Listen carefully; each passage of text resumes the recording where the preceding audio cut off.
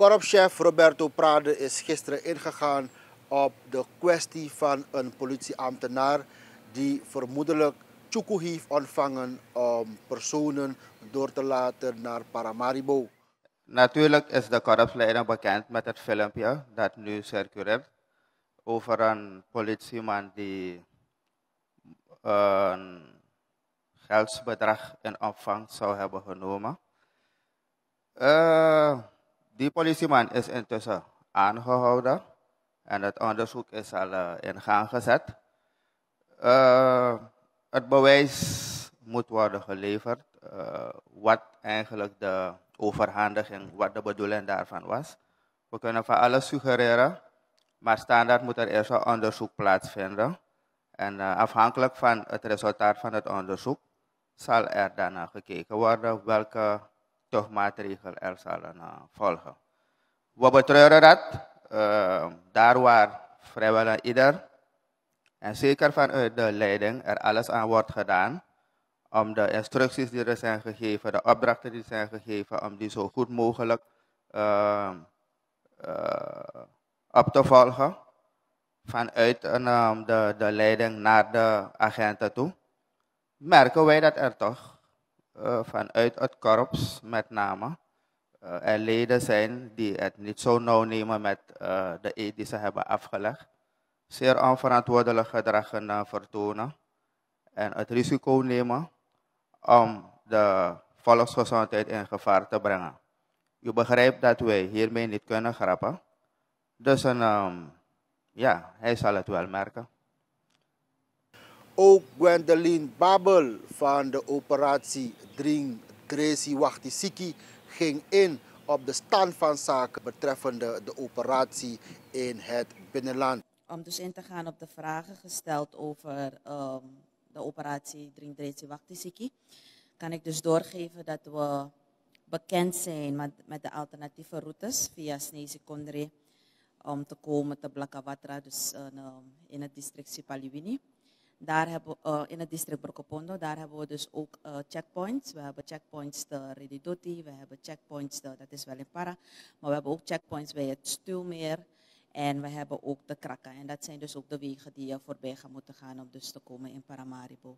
Desalniettemin hebben we dus, kijken we er straks weer naar. Zoals aangegeven door de directeur gaan we na deze persbriefing weer bij elkaar komen. We gaan dus verder met het uitwerken van andere strategieën. Uh, niet om um, de burgers of de Surinamers onaangenaam te zijn, maar alleen maar om um, het team van uh, volksgezondheid hierbij te assisteren bij het waarborgen van onze volksgezondheid. Dus we nemen ook deze alternatieve routes mee en uh, het is ons bekend. Ik hoor dat ik een beetje luider moet praten. Het is ons bekend, dus we, we kijken er straks verder naar en de commandanten binnen die operatie gaan dus verder checken wat we allemaal nog moeten doen en welke routes we over het hoofd hebben gezien. Voor wat betreft, uh, u sprak over speciale groepen op de rivier, mevrouw Boetius. Dus het gaat om de veiligheidsdiensten dus die daar patrouilleerden. En dat er toch personen zijn overgestoken. Zoals de directeur in het begin aangaf, onze grenzen zijn uh, uitgestrekt. En het vergt een heleboel, niet alleen menskracht, maar ook um, heel veel financiële middelen om zo'n grens te kunnen beheersen. Dus we hebben op strategische posten, posities, hebben we dus um, onze veiligheidsdiensten ingezet. Uh, en met de patrouille hebben we dus geprobeerd om dus de rivier op die manier te beheersen. Maar um, zoals we weten, ik denk dat menig een van u hier uh, wel in het oosten is geweest. En uh, misschien niet helemaal te Kumakapang, maar wel richting Stolmans Eiland. En als u via de waterwegen bent gegaan, dan weet u hoe de rivier eruit ziet. En uh, daar ga je dus gebruik maken van buitenboordmotoren. En die zijn niet silent, die maken een heleboel kabaal. Dus het is gewoon dat um, ook de burgers uh, gebruik maken van deze uh, praktische mogelijkheden om over te kunnen steken. Wanneer ze dus uh, merken dat een, uh, die boot met een militaire en politieagenten al voorbij is gevaren. En eigenlijk kunnen ze het bijna timen voordat hij terugkeert. Maar um, we blijven kijken naar alternatieven hoe we dit uh, moeten aanpakken. En um, ik, zal, ik maak gelijk gebruik van deze gelegenheid om een aantal maatregelen aan u te, door te geven. En dat is allemaal vanwege de invloed van positieve gevallen die we hebben gehad vanuit het oosten. Uh, zo is dus binnen het team besloten dat we vandaag rond 2400 uur de, weer alles gaan dichtgooien. En met alles, als u naar het scherm kijkt, ziet u weer dat we de segmentatie gaan hebben. Het gaat dus uh, weer uh, van kracht zijn. We hadden het opengesteld. Uh, de president heeft dus, had in zijn eerdere toespraak, enkele weken terug, had hij dus dit laten openstellen. Dat er dus weer beweging mocht plaatsvinden vanuit de kustvlakte naar, naar de districten of naar het binnenland. Dat gaat dus vanaf vandaag dus weer in. Wat betekent dat essentieel verkeer alleen voorbij kan gaan. En met essentieel verkeer bedoelen wij uh, medische diensten, de veiligheidsdiensten, maar ook uh, ondernemers die in het gebied bezig zijn. Um, de ondernemers moeten, zoals ze gewend zijn, een verzoek richten aan het Nationaal COVID Management Team dat op het kabinet van de president gehuisvest is. En ik benadruk dit, dit omdat u niet langs gaat kunnen gaan met een ander briefje dan ingetekend door uh, het COVID Management Team. Um, ook de posten, alle andere posten zullen verscherpte maatregelen toepassen. De consignes worden dus verscherpt. Um, u gaat dus heel veel, heel, heel vaak als media zult u veel meer klachten krijgen vanuit de burgerij. Maar dat komt omdat wij dus um, andere strategieën, andere maatregelen moeten toepassen om ervoor te zorgen dat wij de medische sector als zodanig kunnen ondersteunen en dat ze hun werk um, naar behoren kunnen doen of ten volle kunnen uitvoeren. Laat me zien als ik iets ben vergeten. Ja, ik moet ook aangeven dat er een meldpunt is op de website waar dus ongeregeldheden um, doorgegeven kunnen worden. Het incident van de politieagent, maar ook zoveel andere um, klachten die we binnenkregen van onze veiligheidsdiensten die um, oogluikend soms toekijken dat mensen oversteken en de tjoekoes nemen, et cetera. Die hebben we zo vaak gehoord en we hebben geprobeerd via communicatie en andere motivational uh, talks om ze bewust te maken van hoe belangrijk het is dat ze hun werk conform doen. Um, desalniettemin bleven de klachten naar binnen komen. Zo hebben we dus binnen het team gekeken wat kunnen we hier aan doen. En is er dus een meldpunt waar dus ongeregeldheden uh, gemeld kunnen worden.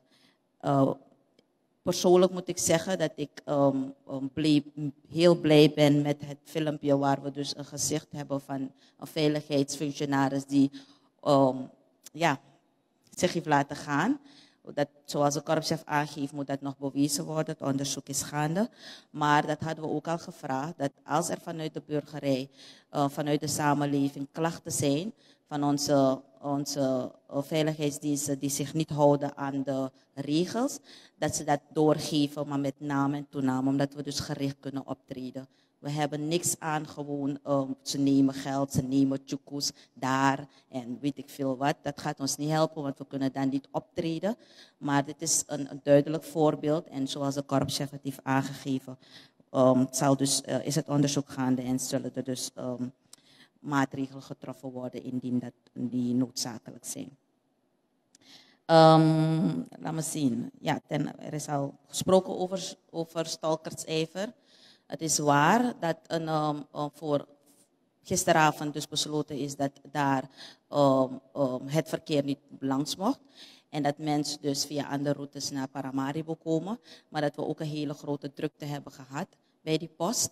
Uh, op dit moment, kort voordat we begonnen met deze persbriefing, is er dus contact gemaakt met de commandant ter plekke. En is dus aangegeven dat het verkeer of de mensen die zich daar hadden verzameld, dus weer langs mochten gaan. Dat hebben we gedaan nadat we dus een registratie hebben gehouden.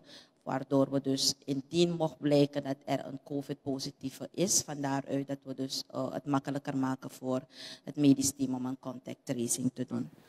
En de directeur van NCCR, Jerry Slijgaard, gaf ook aan dat er een nummer is waarop mensen kunnen bellen als ze iets verdacht hebben aan te geven. Uh, ik zal aangeven dat het telefoonnummer 144 van NCCR ook gebruikt wordt of ook gebruikt kan worden om informatie door te geven. en de informatie die hier kan worden doorgegeven is onder andere waar mensen zich zouden bevinden die mogelijkerwijs uh, op een illegale wijze richting Paramaribo, dan wel elders in Paramaribo of elders direct in de directe omgeving van Paramaribo uh, zich bevinden.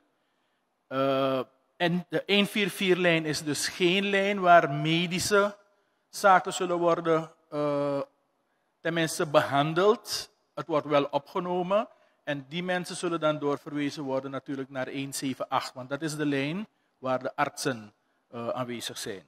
Maar 144 is nogthans ook een nummer die gedraaid kan worden voor mensen die eventueel informatie willen doorspelen.